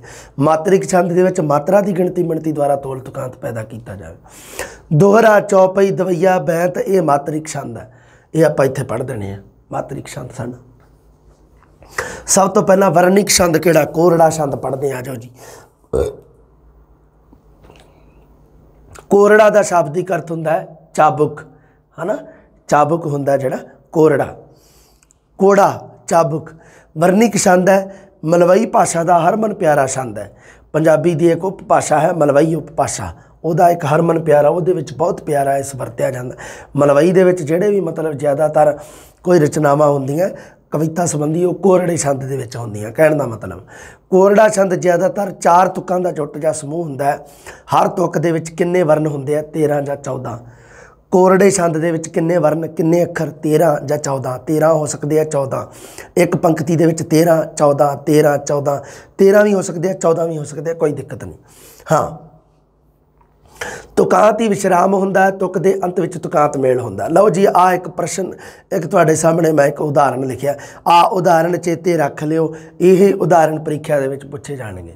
ਅਗਰ ਉਹਨੇ ਪੁੱਛਣਾ ਹੋਵੇ, ਇਹਦੇ ਵਿੱਚ ਦੋ ਸਤਰਾਂ ਲਿਖ ਦੂਗਾ, ਪੁੱਛ ਲੂਗਾ ਵੀ ਉਪਰੋਕਤ ਸਤਰਾਂ ਵਿੱਚ ਕਿਹੜਾ ਛੰਦ ਹੈ? ਰੱਟ ਲਿਓ ਇਹਨਾਂ ਨੂੰ, ਵੀ ਕੋਰੜੇ ਸੰਬੰਧ ਦੀਆਂ ਹੈ। ਆ 13 13 ਵਰਨਾ ਗਿਣਤੀ ਦੇ ਵਿੱਚ 13 ਜਾਂ 14 ਵਰਨਾ ਵਾਲਾ ਕਿਹੜਾ ਛੰਦ ਹੈ? ਕੋਰੜਾ। ਤੂੜੀ ਤੰਦ ਸਾਹ ਬਹਾੜੀ ਵਿੱਚ ਵੱਟ ਕੇ ਲੰਬੜਾ ਤੇ ਸ਼ਾਹ ਦਾ ਹਿਸਾਬ ਕੱਟ ਕੇ ਕੱਚੇ ਮਾਰ ਵੰਜਲੀ ਆਨੰਦ ਛਾ ਗਿਆ। ਮਾਰਦਾ ਦਮਾਮੇ ਜੱਟ ਮੇਲੇ ਆ ਗਿਆ। ਇਹ ਆ ਜਿਹੜੀ ਧਨੀ ਰਾਮ ਚਾਤਰਕ ਦੀ ਪ੍ਰਸਿੱਧ ਕਵਿਤਾ ਮੇਲੇ ਵਿੱਚ ਜੱਟ। ਉਹਦੇ ਤੋਂ ਇਹ ਸਤਰਾਂ ਲਈਆਂ ਗਈਆਂ, ਯਾਦ ਰੱਖਣੀਆਂ। ਅਗਲਾ ਉਦਾਹਰਣ ਦੇਖੋ ਕੀ ਹੈ। ਕਾਹੇ ਰਾਜ ਮਾਤਾ ਦਾ ਸਹਾਲ ਬੱਚੀਏ ਕਾਹ ਤੋਂ ਛੱਡ ਗਿਆ ਭੂਮੀ ਪਾਲ ਬੱਚੀਏ? ਸੁਣ ਮਾਤਾ ਆਦ ਜੇ ਸੁਣਾਵਾ ਹਾਲ ਨਹੀਂ। ਪਾਸਾ ਖੇਲੇ, ਅਸੀਂ ਬਣ ਗਏ ਕੰਗਾਲ ਨਹੀਂ। ਇਹ ਵੀ ਮਤ, ਗਿਣਤੀ ਕਰ ਲਓ ਵਰਨਾ ਦੀ ਸਿੱਧੀ ਬਸ। ਸੌਖਾ ਹੀ ਹੈ। 1 2 3 4 5 6 7 8 9 10 11 12 13 13 ਜਾਂ 14 ਵਰਨ, ਕਿਹੜਾ ਛੰਦ ਹੈ? ਕੋਰੜਾ। ਕੋਰੜੇ ਦਾ ਸ਼ਾਬਦਿਕ ਅਰਥ ਚਾਬਕ। ਇਹ ਕਿਹੜਾ ਛੰਦ ਹੈ? ਸਾਡਾ ਸਾਡਾ ਵਰਣਿਕ ਛੰਦ ਹੈ। ਵਰਨਾਂ ਦੀ ਗਿਣਤੀ ਹੁੰਦੀ ਹੈ। ਕੋਰੜੇ ਛੰਦ ਦੇ ਵਿੱਚ, ਕੋਰੜੇ 'ਚ ਕਿੰਨੇ ਵਰਣ? 13 ਜਾਂ 14 ਸਧਾਰਨ ਗੱਲਾਂ ਤਿੰਨ ਚਾਰ ਧਿਆਨ 'ਚ ਰੱਖਣੀਆਂ। ਅੱਗੇ ਹੋਰ ਉਦਾਹਰਣ ਦਿੱਤਾ, ਦੇਖ ਲਓ। ਬਲਵਾਨ ਦੀਰਘ ਪੁਜਾਨੇ ਮੇਰੀਆਂ, ਵੱਡ ਵੱਡ ਫਾੜੀਆਂ ਬਣਾਉ ਤੇਰੀਆਂ। ਮੁੱਕਿਆ ਜਹਾਨੋ ਤੇਰਾ ਖਾਨ ਪਾਨ ਜੀ, ਛਿਪੇ ਨਾ ਰਹਿਣ ਸੂਰੇ ਬਲਵਾਨ ਜੀ। ਇਹ ਸਾਡਾ ਇਹ ਕੋਰੜਾ ਛੰਦ ਹੈ। ਅੱਗੇ ਗੱਲ ਕਰਦੇ ਆ ਜੀ ਕਵਿਤ ਛੰਦ ਦੀ। ਕਵਿਤ ਛੰਦ ਹੈ, ਇਹ ਵੀ ਸਾਡਾ ਵਰਣਿਕ ਛੰਦ ਹੈ। ਦੋ ਮੈਂ ਤੁਹਾਨੂੰ ਦੱਸਿਆ ਸੀ ਵੀ ਕੈ ਕਵਿਤ ਤੇ ਕੈ ਕੋਰੜਾ, ਇਹ ਦੋਨੋਂ ਵਰਣਿਕ ਛੰਦ ਹੈ। ਵਰਣਿਕ ਛੰਦ ਦੇ ਵਿੱਚ ਉਦਾਹਰਨਾਂ ਚੇਤੇ ਰੱਖਿਓ ਤੁਸੀਂ। ਸਭ ਤੋਂ ਔਖਾ ਪ੍ਰਸ਼ਨ ਆਹ ਬਣਦਾ ਲਾਸਟ ਦੇ ਵਿੱਚ, ਵੀ ਉਹ ਦੋ ਲਾਈਨਾਂ ਪੁੱਛ ਕੇ, ਦੋ ਲਾਈਨਾਂ ਲਿਖ ਕੇ ਪੁੱਛ ਲਵੇ ਵੀ ਇਹਦੇ ਵਿੱਚੋਂ ਇਹਦੇ ਵਿੱਚ ਕਿਹੜਾ ਛੰਦ ਹੈ? ਤੇ ਇੱਕ ਸੌ ਸੌਖੇ, ਬਾਕੀ ਸੌਖੇ ਪ੍ਰਸ਼ਨ ਹੀ ਬਣਦੇ ਆ ਸਾਰੇ। ਹੋਰ ਦੇਖੋ ਜੀ, ਕਬਿੱਤ ਛੰਦ ਹੈ ਜਿਹੜਾ, ਇਹ ਵੀ ਮਲਵਈ ਭਾਸ਼ਾ ਦਾ ਹਰਮਨ ਪਿਆਰਾ ਛੰਦ ਹੈ। ਕੋਰੜਾ ਵੀ, ਕਬਿੱਤ ਵੀ। ਇਸ ਵਿੱਚ ਲੰਮੀਆਂ ਚਾਰ ਲੰਮੀਆਂ ਤੁਕਾਂ। ਹਰ ਤੁਕ ਦੇ ਵਿੱਚ ਚਾਰ ਵਿਸ਼ਰਾਮ। ਦੋ ਦੋ ਚਰਨ, ਕੋਈ ਦਿੱਕਤ ਨਹੀਂ। ਸਿੱਧਾ ਜਿਹੜੀ ਕੰਮ ਦੀ ਗੱਲ ਹੈ ਹਰ ਤੁਕ ਵਿੱਚ 31 ਜਾਂ 32 ਵਰਨ ਹੁੰਦੇ ਹਨ। ਆਪਾਂ ਆਪਾਂ ਨੂੰ ਪਤਾ ਵੀ ਕੋਰੜੇ ਦੇ ਵਿੱਚ 13 ਜਾਂ 14 ਵਰਨ ਹੁੰਦੇ ਆ, ਪਰ ਕਬਿੱਤ ਦੇ ਵਿੱਚ ਹੁੰਦੇ ਆ 31 ਜਾਂ 32 ਕਬਿੱਤ ਦੇ ਵਿੱਚ 31 ਜਾਂ 32 ਹਾਂ, ਇਹਦਾ ਮਤਲਬ ਚਾਰ ਵਿਸ਼ਰਾਮ ਹੈ। ਪਹਿਲੇ ਤਿੰਨਾਂ ਦੇ ਵਿੱਚ 8-8 ਵਰਨ ਤੇ ਆਖਰੀ ਵਿੱਚ 7 ਜਾਂ 8 ਹੁੰਦੇ ਹਨ। 8 ਚੌਕਾ 32 ਤੇ 8 ਤੀਆ 24 ਜਾਂ 7 ਕਿੰਨੇ ਹੋ ਗਏ? 31 ਹੁਣ ਆ ਦੇਖੋ ਜੀ ਆ ਲਿਖਿਆ ਹੋਇਆ ਉਦਾਹਰਣ ਜੀ ਦੇ ਵਿੱਚ 8-8 ਲਿਖਿਆ ਹੋਇਆ। ਇੱਕ ਪੂਰੀ ਲੰਮੀ ਲ- ਸਤਰ ਹੁੰਦੀ ਹੈ, ਲੰਮੀਆਂ ਸਤਰਾਂ ਲਿਖੀਆਂ ਹੁੰਦੀਆਂ ਇਹਦੇ ਵਿੱਚ। ਚਾਰ ਤੁਕਾਂ ਵਾਲਾ ਹੁੰਦਾ ਪਰ ਸ- ਜਿਹੜੀਆਂ ਤੁਕਾਂ ਸਤਰਾਂ ਹੁੰਦੀਆਂ, ਜਿਹੜੀਆਂ ਉਹਨਾਂ ਦੀ ਲੰਬਾਈ ਹੈ, ਜਿਹੜੀ ਉਹ ਲੰਬਾਈ ਬਹੁਤ ਹੁੰਦੀ ਹੈ, ਜਿਹਦੇ ਵਿੱਚ 31 ਜਾਂ 32 ਵਰਨ ਆਉਣੇ ਆ। ਹੁਣ ਅਸੀਂ ਜੇ ਤੁਸੀਂ ਦੇਖ ਲਓ ਵੀ ਇੱਕ ਲੰਮੀ ਸਾਰੀ ਪੰਕਤੀ ਹੈ 31 ਜਾਂ 32 ਵਰਨਾਂ ਦੇ ਵਿੱਚ ਲਿਖੀ ਹੋਈ ਹੈ, ਕਿੰਨੇ ਬਣ ਜਾਣਗੇ, ਕਿੰਨੀ ਲੰਮੀ ਹੋ ਜੂਗੀ ਆਹ ਦੇਖ ਲਓ, ਇੰਨੀ ਲੰਮੀ ਆ ਆਹ ਪੰਕਤੀ ਇੱਥੋਂ ਤੱਕ। ਮੀਨ ਜੈਸੇ ਨੀਰ ਬਿਨਾ ਭੈਣ ਜੰਮੇ ਵੀਰ ਬਿਨਾ ਕੱਪੜਾ ਅਮੀਰ ਬਿਨਾ ਮੂਲ ਨਾ ਸੁਹਾਵਦਾ। ਇਹ ਹੈ ਜਿਹੜਾ ਇਹ ਸਾਡਾ ਕਿਹੜਾ ਛੰਦ ਹੈ ਜੀ? ਕਬਿਤ ਛੰਦ। ਅੱਗੇ ਦੇਖੋ। ਖੇਤੀ ਜੈਸੇ ਬਾੜ ਬਿਨਾ ਨਾਰ ਪਰ ਧਾਰ ਬਿਨਾ ਘੋੜਾ ਸਵਾਰ ਬਿਨਾ ਰਾਸ ਨਹੀਂ ਆਵਦਾ ਅੱਗੇ ਇੱਕ ਰਾਂਝੇ ਹੀ ਰਾਂਝੇ ਦੇ ਲਿਆ ਗਿਆ ਉਦਾਹਰਣ। ਇਹ ਸਾਰੇ ਉਦਾਹਰਣ ਚੇਤੇ ਰੱਖਿਓ ਬੇਟਾ ਜੀ। ਉਦਾਹਰਣਾਂ ਦੇ ਵਿੱਚੋਂ ਪ੍ਰਸ਼ਨ ਆਊਗਾ। ਸਭ ਤੋਂ ਹਾਰਡ ਪ੍ਰਸ਼ਨ ਆਹ ਹੀ ਉਦਾਹਰਣਾਂ ਦੇ ਵਿੱਚੋਂ ਵਾਧੂ ਨਹੀਂ। ਐਵੇਂ ਨਹੀਂ ਵੀ ਕੋਈ ਵੀ ਤੁਹਾਨੂੰ ਕਿਵੇਂ ਵੀ ਉਦਾਹਰਨਾਂ ਚੱਕ ਕੇ ਮੂੰਹ ਚੱਕ ਕੇ ਕੋਈ ਔਖੀਆਂ ਉਦਾਹਰਨਾਂ ਦੱਸੀ ਜਾਂਦਾ। ਵੀ ਆਹ ਚੱਕੋ ਜੀ, ਆਹ ਵੀ ਪੜੋ ਜੀ, ਆਹ ਨਹੀਂ ਆਹ ਨਹੀਂ। ਉਦਾਹਰਣਾਂ ਸਿਰਫ ਹੋਈ ਜੋ ਸਾਡੀਆਂ ਆਥੈਂਟਿਕ ਬੁੱਕਸ ਦੇ ਵਿੱਚ ਦੇ ਰੱਖੀਆਂ, ਉਸ ਤੋਂ ਬਾਹਰ ਨਹੀਂ ਕੁਝ ਵੀ। ਹਾਂ। ਹੋਇਆ ਰਾਂਝਣਾ ਜਵਾਨ, ਲੱਗਾ ਚੰਗਾ ਪੀਣ ਖਾਣ। ਪੰਨੇ ਬਾਫ ਤੇ ਬਰਾਨ ਨਾਲ ਮਾਪਿਆਂ ਦੇ ਮਨ ਦੇ। ਦੇਖ ਮਾਪੇ ਹੋਣ ਰਾਜੀ, ਜਿਉ ਤਬੇਲੇ ਪੱਲੇ ਤਾਜੀ, ਜਿਉ ਬਾਲਕੇ ਨੂੰ ਬਾਜੀ, ਤਿਵੇਂ ਰਾਂਝਣੇ ਨੂੰ ਜਾਣਦੇ। ਹੁਣ ਇਹਦਾ ਪ- ਅਰਥ ਤਾਂ ਹੀ ਕੋਈ ਮਤਲਬ ਨਹੀਂ ਆਪਾਂ ਨੂੰ। ਆਪਣਾ ਕੀ ਕੰਮ ਹੈ? ਵਰਨਾ ਦੀ ਗਿਣਤੀ, ਵਰਨਾ ਦੀ ਗਿਣਤੀ ਕਰ ਲਓ। 31 ਜਾਂ 32 ਹੁੰਦੇ ਆ ਕਿ ਨਹੀਂ? ਹੋ ਸਕਦਾ ਕਿਤੇ 33 ਹੋ ਜਾਣ। ਫਿਰ ਕੋਈ ਐ ਤਾਂ ਹੈ ਨਹੀਂ ਵੀ 33 ਵਰਨਾ ਵਾਲਾ ਛੰਦ ਕੋਈ ਹੋਰ ਹੈ। ਤੇ 33 ਵਰਨਾ ਤੇ ਵੀ ਨੇੜੇ ਹੀ ਆ। ਕਿਹੜਾ? 32 ਵਾਲਾ ਹੀ ਹੈ। ਵੀ ਛਾਂਦੀ ਆਪਾਂ ਉਹ ਪੜਨਾ ਭਾਵੇਂ 31 ਤੇ 30 ਹੋ ਜਾਣ, ਭਾਵੇਂ 32 ਤੇ 33 ਹੋ ਜਾਣ, ਕੀ ਦਿੱਕਤ ਹੈ? ਵੀ ਕੋਈ ਐ ਤਾਂ ਹੈ ਨਹੀਂ ਵੀ 32 ਵਰ 33 ਵਰ ਵਾਲਾ ਉਹਨਾਂ ਨੇ ਕਹਿ ਦੇਣਾ ਵੀ ਕੋਈ ਹੋਰ ਛਾਂਦਾ ਉਹਦਾ ਨਾਮ ਲਿਖੋ ਤੁਸੀਂ। ਐ ਤਾਂ ਹੈ ਨਹੀਂ, ਉਹਦੇ ਤੇ ਗੋਲੇ ਭਰਨੇ ਆਪਾਂ। ਇਸ ਕਰਕੇ ਕੋਈ ਦਿੱਕਤ ਨਹੀਂ। ਹਾਂ ਭਾਈਆਂ ਬਗੈਰ ਭੱਜ ਪੈਰ ਨਾ ਧਰਨ ਦੇਵੇ, ਭਾਈ ਉੱਠ ਜਾਣ ਭੱਜ ਪੈਂਦੀਆਂ ਜੇ ਬਾਹਾਂ ਹੋਏ ਆਪ ਦੇਖ, ਵਰਨਾ ਦੀ ਗਿਣਤੀ ਕਰ ਲਿਓ ਤੁਸੀਂ ਆਪੇ। 1 2 3 4 5 6 7 8 ਹੋ ਗਏ ਇਹਦੇ ਚ। 1 2 3 4 5 6 7 8 8 ਹੋ ਗਏ। 1 2 3 4 5 6 7 8 ਹੋ ਗਏ। 1 2 3 4 5 6 7 8 ਹੋ ਗਏ। 8 ਚੁਕਾ 32 ਹੋ ਗਏ ਕੋਰੜਾ ਤੇ ਕਵਿਤਾ। ਦੋ ਹੀ ਸਾਡੇ ਦੋ ਸਾਡੇ ਵਰਨਿਕ ਛੰਦ ਆ ਜਿਹੜੇ ਤੁਸੀਂ ਯਾਦ ਧਿਆਨ ਦੇ ਵਿੱਚ ਰੱਖਣੇ ਆ। ਜਿਹੜਾ ਸਾਡਾ ਹੈਗਾ ਕੋਰੜਾ ਛੰਦ, ਉਹਦੇ ਵਿੱਚ ਕਿੰਨੀਆਂ? ਉਹ 13 ਜਾਂ 14 ਵਰਨਾਂ ਵਾਲਾ ਵਿੱਚ ਹੈਗਾ ਤੇ ਜਿਹੜਾ ਕਵਿਤ ਹੈ, ਉਹ 31 ਜਾਂ 32 ਵਰਨਾਂ ਵਾਲਾ ਬਸ ਧਿਆਨ ਰੱਖਣਾ, ਸਭ ਤੋਂ ਪਹਿਲਾਂ ਇਹ ਧਿਆਨ ਰੱਖਿਓ ਵੀ ਕੋਰੜਾ ਤੇ ਕਵਿਤਾ ਛੰਦ ਹੈ ਜਿਹੜੇ ਇਹ ਸਾਡੇ ਇਹ ਸਾਡੇ ਵਰਨਿਕ ਛੰਦ ਹਨ, ਮਾਤ੍ਰਿਕ ਛੰਦ ਨਹੀਂ ਹੈ। ਮਾਤ੍ਰਿਕ ਛੰਦ ਹੁਣ ਆਪਾਂ ਪੜ੍ਹਦੇ ਹਾਂ। ਮਾਤਰਿਕ ਛੰਦ ਬਾਰੇ ਆਪਾਂ ਗੱਲ ਕਰਨੀ ਹੈ। ਮਾਤਰਿਕ ਛੰਦ ਦੇ ਵਿੱਚ ਤੁਹਾਨੂੰ ਪਤਾ ਹੀ ਆ ਦੋਹਰਾ, ਦਵਈਆ, ਚੌਪਈ, ਬੈਂਤ, ਇਹ ਆਪਾਂ ਚਾਰ ਛੰਦ ਬਹੁਤ ਮਹੱਤਵਪੂਰਨ ਪੜ੍ਹਨੇ ਆ। ਚਾਰ ਤੇ ਦੋ ਛੇ, ਕੁੱਲ ਛੇ ਪੜ੍ਹ ਲੇ ਤਾਂ ਦੋ, ਤਿੰਨ ਕਿੰਨੇ ਵੀ ਪ੍ਰਸ਼ਨ ਆ ਜਾਣ, ਸਾਰੇ ਕਲੀਅਰ ਹੋ ਜਾਣਗੇ ਤੁਹਾਡੇ। ਆਜੋ ਜੀ, ਗੱਲ ਕਰਦੇ ਆ ਮਾਤਰਿਕ ਛੰਦ। ਪਤਾ ਹੀ ਹੈ ਪਰਿਭਾਸ਼ਾ ਵੀ ਮਾਤਰਾ ਦੀ ਗਿਣਤੀ ਮਿਣਤੀ ਕਰਨੀ ਹੈ ਮਾਤਰਿਕ ਛੰਦ ਦੇ ਵਿੱਚ। ਤੇ ਇਹ ਸਭ ਤੋਂ ਪਹਿਲਾਂ ਤਾਂ ਇਹ ਖਾਨੇ ਦੇ ਵਿੱਚ ਧਿਆਨ ਰੱਖਿਓ ਦਿਮਾਗ ਦੇ ਵਿੱਚ ਵੀ ਦੋਹਰਾ, ਦਵਈਆ, ਚੌਪਈ ਤੇ ਬੈਂਤ ਇਹ ਸਾਡੇ ਮਾਤਰਿਕ ਛੰਦ ਹੈ। ਤੇ ਕੋਰੜਾ ਤੇ ਕਬਿੱਤ ਇਹ ਸਾਡੇ ਵਰਨਿਕ ਛੰਦ ਆ ਪਹਿਲਾਂ ਇਹ ਡਿਫਰੈਂਸ ਕਰ ਲਿਓ। ਇਹਦੀ ਇੱਕ ਲਿਸਟ ਬਣਾ ਲਿਓ ਅੱਡ। ਹੂੰ। 23 ਜਾਂ 24 ਮਾਤਰਾ ਹੁੰਦੀਆਂ ਜੀ। ਪਹਿਲਾ ਵਿਸ਼ਰਾਮ 12 ਜਾਂ 13 ਤੇ, ਦੂਜਾ 11 ਤੇ। ਤੁਕ ਵਿੱਚ ਦੋ ਤੁਕਾਂ, ਚਾਰ ਚਰਨ, ਦੋ ਵਿਸ਼ਰਾਮ, ਇਸ ਨੂੰ ਦੋਹਰਾ ਜਾਂ ਦੋਹਾ ਛੰਦ ਵੀ ਲਿਖਿਆ ਜਾਂਦਾ ਹੈ। ਦੋਹਰਾ ਜਾਂ ਦੋਹਾ ਵੀ ਕਿਹਾ ਜਾਂਦਾ ਹੈ। 23 ਜਾਂ 24 ਮਾਤਰਾ, ਪਹਿਲਾਂ ਧਿਆਨ ਰੱਖਿਓ। ਦੋਹਰੇ ਛੰਦ ਦੀ ਪਛਾਣ ਧਿਆਨ ਰੱਖਿਓ ਵੀ ਦੋਹਰੇ 'ਚ ਕਿੰਨੀਆਂ ਮਾਤਰਾ 24 ਜਾਂ 23 ਪਹਿਲਾ ਵਿਸ਼ਰਾਮ ਪਹਿਲਾ ਵਿਸ਼ਰਾਮ 12 ਜਾਂ 13 ਦੂਜਾ ਵਿਸ਼ਰਾਮ 11 ਤੇ। ਹੁਣ ਕੋਈ ਦਿੱਕਤ ਨਹੀਂ। ਹੁਣ 11 ਤੇ ਆ ਜਾਂ 12 ਵੀ ਹੋ ਸਕਦਾ ਹੈ 10 ਵੀ ਹੋ ਜਾਊਗਾ, ਤਾਂ ਵੀ ਕੋਈ ਟੈਨਸ਼ਨ ਨਹੀਂ। ਕਿਉਂਕਿ ਐ ਤਾਂ ਹੈ ਨਹੀਂ ਵੀ 12 ਜਾਂ 10 ਵਾਲਾ ਕੋਈ ਹੋਰ ਛੰਦ ਹੈਗਾ, ਕੋਈ ਨਹੀਂਗਾ ਦੇਖ ਲਓ, ਦੋਹਰੇ ਛੰਦ ਦੇ ਵਿੱਚ 23 ਜਾਂ 24 ਮਾਤਰਾਵਾਂ, ਚੌਪਈ ਛੰਦ ਦੇ ਵਿੱਚ 15 ਜਾਂ 16 ਪਹਿਲਾ ਵਿਸ਼ਰਾਮ 8 ਤੇ ਦੂਸਰਾ 7 8 ਤੇ। ਦਵਾਈਏ ਚ 28 ਹੈ ਪਹਿਲਾ 16 ਤੇ ਵਿਸਰਾਮ ਆ, ਦੂਜਾ 12 ਤੇ। ਮਤਲਬ ਪਹਿਲੀ ਪੰਕਤੀ ਵੱਡੀ ਬਣੂਗੀ, ਦੂਸਰੀ ਛੋਟੀ ਆਟੋਮੈਟਿਕ ਹੀ ਬਣੂਗੀ, ਕਿਉਂਕਿ ਚਾਰ ਮਾਤਰਾ ਇੱਧਰ ਵੱਧ ਹੈ ਉਸ ਤੋਂ ਬਾਅਦ ਅੱਗੇ ਦੇਖ ਲਓ ਬੈਂਤ ਬੈਂਤ ਦੀ ਤਾਂ 40 ਮਾਤਰਾ ਵਾਲਾ ਛੰਦ ਹੈ ਇਹ ਤਾਂ ਕਿਸੇ ਨਾਲ ਵੀ ਨਹੀਂ ਮਿਲਦਾ। ਹਨਾ? ਹਾਂ ਅਲੱਗ-ਅਲੱਗ ਹੈ, ਕੋਈ ਦਿੱਕਤ ਨਹੀਂ। ਚਾਰ ਹੀ ਪੜਨੇ ਆਪਾਂ। ਬੈਂਤ ਹਾਂ, ਬਿਲਕੁਲ। ਆ ਜਾਓ ਵੀ। ਮਾਤਰ ਦੋਹਰੇ ਤੇ ਮੈਂ ਵੈਸੇ ਦੱਸਿਆ ਤੁਹਾਨੂੰ ਵੀ ਚੌਪਈ ਛੰਦ ਦੀਆਂ ਇੰਨੀਆਂ, ਦਵਾਈਏ ਦੀਆਂ ਇੰਨੀਆਂ ਤੇ ਬੈਂਤ ਦੀਆਂ ਇੰਨੀਆਂ। ਕੋਈ ਦਿੱਕਤ ਨਹੀਂ, ਉਹਨਾਂ ਨੂੰ ਅਲੱਗ-ਅਲੱਗ ਲਿਖ ਲਿਓ। ਪ੍ਰਸ਼ਨ ਉੱਥੇ ਖਤਮ ਹੋ ਗਿਆ, ਹਾਲਾਂਕਿ ਆਪਣਾ, ਪਰ ਆਪਾਂ ਅੱਗੇ ਪੜ੍ਹਦੇ ਹਾਂ। ਪਹਿਲਾ ਵਿਸ਼ਰਾਮ 12 ਜਾਂ 13 ਤੇ, ਦੂਸਰਾ 11 ਤੇ। ਆ ਦੇਖ ਲਓ ਜੀ 13 11 ਵਾਲੇ ਵਿਸ਼ਰਾਮ ਆ, ਮੈਂ ਲਿਖ ਰੱਖਿਆ ਸਪੈਸ਼ਲ ਬ੍ਰੈਕਟ ਦੇ ਵਿੱਚ। ਪੂਰਨ ਤੂੰ ਪਰਮਾਤਮਾ, ਘਟ ਘਟ ਰਿਹਾ ਸਮਾਏ। ਪੂਰਨ ਤੂੰ ਪਰਮਾਤਮਾ ਦੇ ਵਿੱਚ 13 ਮਾਤਰਾਵਾਂ ਦੇਖ ਲਓ, ਗਿਣਨ ਦਾ ਤਰੀਕਾ, ਵੱਡੀ ਮਾਤਰਾ ਨੂੰ 2 ਛੋਟੀ ਨੂੰ 1 ਇਹ ਐ ਕਰ ਦਿੰਨੇ ਆਪਾਂ। ਆ ਲਓ। ਹੁਣ ਆ ਜਾਓ। ਹੂੰ। ਮੈਂ ਤੁਹਾਨੂੰ ਕਿਹਾ ਸੀ ਵੀ ਵੱਡੀ ਮਾਤਰਾ ਨੂੰ 2 ਛੋਟੀ ਨੂੰ 1 ਪੂਰਨ। ਇਹ ਪੈ ਦੇ ਕਿੰਨੀਆਂ ਦੋ, ਗਿਣਤੀ ਦੋ। ਰੈ ਨੂੰ ਇੱਕ, ਨੈ ਨੂੰ ਇੱਕ। ਹੁਣ ਤੂੰ ਸ਼ਬਦ ਤੇ ਆ ਜਾਓ। ਉੱਪਰ ਟਿੱਪੀ ਵੀ ਲੱਗੀ ਹੋਈ ਹੈ ਥੱਲੇ ਦੋ ਮਾਤਰਾਵਾਂ। ਦੋ ਮਾਤਰਾਵਾਂ ਮਤਲਬ ਗਿਣਤੀ ਦੋ ਪਹਿਲਾਂ ਹੀ ਹੋ ਚੁੱਕੀ ਹੈ। ਟਿੱਪੀ ਦੀ ਗਿਣਤੀ ਨਹੀਂ ਹੋਊਗੀ, ਕਿਉਂਕਿ ਕਿਸੇ ਵੀ ਹਾਲਤ ਵਿੱਚ ਮਾਤਰਾ ਦੀ ਗਿਣਤੀ ਦੋ ਤੋਂ ਜ਼ਿਆਦਾ ਨਹੀਂ ਹੋਣੀ ਚਾਹੀਦੀ। ਪਰਮਾਤਮਾ ਤੇ ਕਿੰਨੀਆਂ ਬਣਦੀਆਂ ਇੱਕ, ਦੋ। ਇਹਦੇ ਤੇ ਦੋ ਬਣਨੀਆਂ, ਮੈਂ ਤੇ ਤੈ ਤੇ ਇੱਕ, ਮੈਂ ਤੇ ਦੋ। ਪਤਾ ਲੱਗ ਗਿਆ, ਮੈਂ ਤੁਹਾਨੂੰ ਕਿਹਾ ਵਾਰੀ-ਵਾਰੀ ਜਿਹੜੇ ਵਿਦਿਆਰਥੀ ਨੂੰ ਮੰਨ ਲਓ ਸਮਝ ਨਹੀਂ ਆ ਰਿਹਾ, ਤਾਂ ਵਰਣਮਾਲਾ ਵਾਲੀ ਵੀਡੀਓ ਹੈ ਜਿਹੜੀ ਉਹਦੇ ਵਿੱਚ ਅੱਗੇ ਲਗਾ ਮਾਤਰਾ ਵਾਲੀ ਵੀਡੀਓ ਪਾ ਰੱਖੀ ਹੈ। ਉਹਨੂੰ ਧਿਆਨ ਨਾਲ ਦੇਖ ਲਿਓ, ਮੇਰੀ ਬੇਨਤੀ ਆ ਤੁਹਾਡੇ ਅੱਗੇ।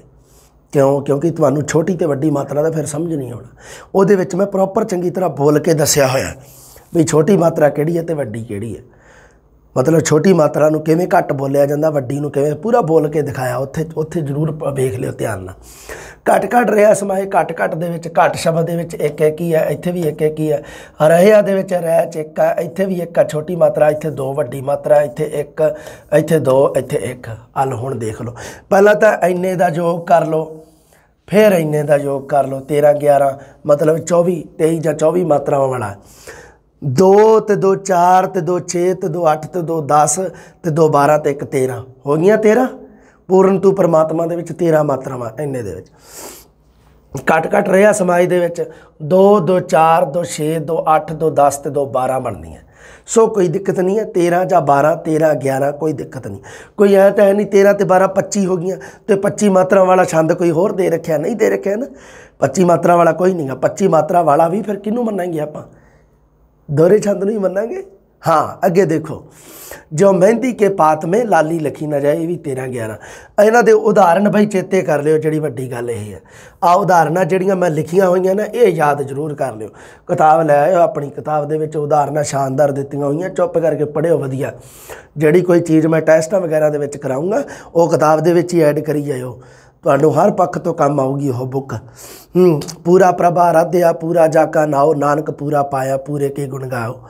ਕੁਰਨ ਕੁਰਨ ਕਰਦੀ ਫਿਰੇ, ਸਰਦੀ ਪਏ ਅਫਾਤ, ਦਿਨ ਚੜੇ ਮੰਗਣ ਤੁਰੀ ਖੁੱਬਿਆ ਵੱਡ ਵੱਡ ਪਾਤ। ਦੀਨ ਦਰ ਦੁਖ ਪੰਜਨਾ ਕਟ ਕਟ ਨਾਥ ਅਨਾਥ, ਸਰਨ ਤੁਮਾਰੀ ਆਇਓ ਨਾਨਕ ਕੇ ਪ੍ਰਭ ਸਾਥ। ਆਥੈਂਟਿਕ ਉਦਾਹਰਣ ਹੀ ਲਿਆ ਮੈਂ। ਵਾਧੂ ਕਚਰਾ ਨਹੀਂ ਇਕੱਠਾ ਕੀਤਾ। ਮੈਂ ਕਿਹਾ ਕੰਮ ਦੀ ਗੱਲ ਹੀ ਕਰਨੀ ਹੈ ਅੱਗੇ ਦੇਖੋ ਜੀ ਚੌਪਈ ਛੰਦ। ਹੈ ਇਹ ਮਾਤਰਿਕ ਛੰਦ ਹੈ। ਬਿਲਕੁਲ ਮਤ ਤੇ ਧਿਆਨ ਰੱਖਿਓ ਸਭ ਤੋਂ ਪਹਿਲਾਂ। ਪਹਿਲਾਂ ਪਹਿਲਾਂ ਮੈਂ ਇਹੀ ਗੱਲਾਂ ਲਿਖੀਆਂ।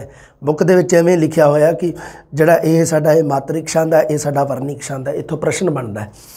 ਚੌਪਈ ਛੰਦ ਹੈ, ਮਾਤਰਿਕ ਛੰਦ ਹੈ 15 ਜਾਂ 16 ਮਾਤਰਾਵਾਂ ਪਹਿਲਾ ਵਿਸ਼ਰਾਮ 8 ਤੇ ਦੂਸਰਾ 7 ਜਾਂ 8 ਤੇ। ਇਹਦੀ ਚੌਪਈ ਛੰਦ ਦੀ ਵਰਤੋਂ ਜ਼ਿਆਦਾਤਰ ਕਥਾ ਕਾਵ ਵੀਰ ਕਾਵ ਲੰਮੀ ਰਚਨਾ ਦੇ ਵਿੱਚ ਹੁੰਦੀ ਹੈ। ਇਹ ਗੱਲ ਆਪਣੀ ਬਾਤ ਦੀ ਹੈ। ਸਭ ਤੋਂ ਪਹਿਲਾਂ ਆਪਾਂ ਇਹਦੀ ਮਾਤਰਾ ਦਾ ਧਿਆਨ ਰੱਖਣਾ 15 ਜਾਂ 16 ਚਾਰ ਤੁਕਾਂ ਚਾਰ ਹੀ ਚਰਨ ਬਰਨ ਚਿਹਨ ਜੇ ਜਾਤ ਨਾ ਪਾਤਾ ਸੱਤਰ ਮਿੱਤਰ ਜੇ ਤਾਤ ਨਾ ਪਾਤਾ। ਸਭ ਤੇ ਦੂਰ ਸਬਰ ਤੇ ਨੀਰਾ ਜਲ ਥਲ ਮਹੀਲ ਮਾਹੇ ਬਸੇਰਾ। 15 ਜਾਂ 16 ਮਾਤਰਾਵਾਂ ਪਹਿਲਾ ਵਿਸ਼ਰਾਮ 8 ਤੇ ਹੈ। ਬਰਨ ਚਰਨ ਅ, ਬਰਨ ਚਰਨ ਜੇ ਜਾਤ ਨਾ ਪਾਤਾ। ਇੱਕ ਮਿੰਟ ਲੋਕ ਲਾ ਲਓ। ਹਾਂ ਬਰਨ ਚਿਹਨ ਜੇ ਜਾਤ ਨਾ ਪਾਤਾ 70 ਮਿੱਤਰ ਜਿਹ ਤਾਤ ਨਾ ਮਾਤਾ। ਲਓ ਇਹਦੇ ਵਿੱਚ ਵੇਖ ਲੈਣੇ ਪਹਿਲੇ ਤੇ ਹੀ ਦੇਖ ਲੈਣੇ 15 ਜਾਂ 16 ਮਾਤਰਾ ਟੋਟਲ ਬਣਦੀਆਂ 1 2 3 4 5 6 7 8 ਆ ਬਰਨ ਚਿਹਨ ਜਿਹੇ ਦੇ ਵਿੱਚ 8 ਹੈ। ਜਾਤ ਨਾ ਪਾਤਾ ਚ ਕਿੰਨੀਆਂ 1 2 3 4 5 6 7 8 9 ਬਣੀਆਂ ਕੋਈ ਦਿੱਕਤ ਨਹੀਂ ਫਿਰ ਵੀ। 8 9 ਬਣ ਗਿਆ। ਹਾਲਾਂਕਿ ਮੈਨੂੰ ਪਤਾ ਹੈ ਵੀ ਆ ਨਾ ਇਸ ਤਰ੍ਹਾਂ ਨਹੀਂ ਲਿਖਿਆ ਜਾਂਦਾ ਸੀ। ਮੱਧ ਕਾਲ ਦੇ ਵਿੱਚ ਗਲਤੀ ਦੇ ਨਾਲ ਲਿਖਿਆ ਗਿਆ। ਇਹਨੂੰ ਇੱਕ ਹੀ ਮਾਤਰਾ ਦੇ ਨਾਲ ਲਿਖਿਆ ਜਾਂਦਾ ਸੀ, ਨਾ ਦੇ ਨਾਲ। ਲਓ 8 8 ਹੋ ਗਈਆਂ। 8 ਤੇ 8 16 ਦੀ ਥੋੜੀ ਜੀ ਗਲਤੀ ਰਹਿ ਗਈ ਆਪਣੀ। ਲਿਖਣ ਦੇ ਵਿੱਚ ਵੀ ਕਈ ਵਾਰੀ ਮਿਸਟੇਕ ਹੁੰਦੀ ਹੈ। ਨਾ ਆਪਾਂ ਤਾਂ ਲਿਖਦੇ ਐਵੇਂ ਆ। ਮੱਧ ਕਾਲ ਦੇ ਵਿੱਚ ਐ ਲਿਖਿਆ ਜਾਂਦਾ ਸੀ, ਨਾ। ਨਾ ਕਰਨ ਦੇ ਭਾਵ ਤੋਂ, ਸਿਰ ਮਾਰਨ ਦੇ ਭਾਵ ਤੋਂ। ਹਮਰੀ ਕਰੋ ਹਾਥ ਦਾ ਰੱਛਾ, ਪੂਰਨ ਹੋਏ ਚਿੱਤ ਕੀ ਇੱਛਾ। ਤਵ ਚਰਨਨ ਮਰ ਰਹਿ ਹਮਾਰਾ ਆਪਣਾ ਜਾਨ ਕਰੋ ਪ੍ਰਤਪਾਰਾ ਇਹ ਹੈ ਜਿਹੜਾ, ਇਹ ਵੀ ਸਾਡਾ ਚੌਪਈ ਛੰਦ ਦਾ ਉਦਾਹਰਣ ਹੈ। ਸੁਣਿਆ ਸਤ ਸੰਤੋਖ ਗਿਆਨ, ਸੁਣਿਆ ਅਠ ਸੜਕਾ ਇਸਨਾਨ। ਸੁਣਿਆ ਪੜ ਪੜ ਪਾਵੈ ਮਾਨ, ਸੁਣਿਆ ਲਾਗੇ ਸਹਿਜ ਧਿਆਨ। ਇਹ ਵੀ ਚੌਪਈ ਛੰਦ ਦਾ ਉਦਾਹਰਣ ਅੱਗੇ ਗੱਲ ਕਰਦੇ ਹਾਂ ਆਪਾਂ ਸਾਡੇ ਦਵਈਆ ਛੰਦ ਦੀ, ਇਹ ਮਾਤਰਿਕ ਛੰਦ ਹੈ। ਮਾਤਰਿਕ ਛੰਦ ਪੜ ਰਹੇ ਹਾਂ ਆਪਾਂ।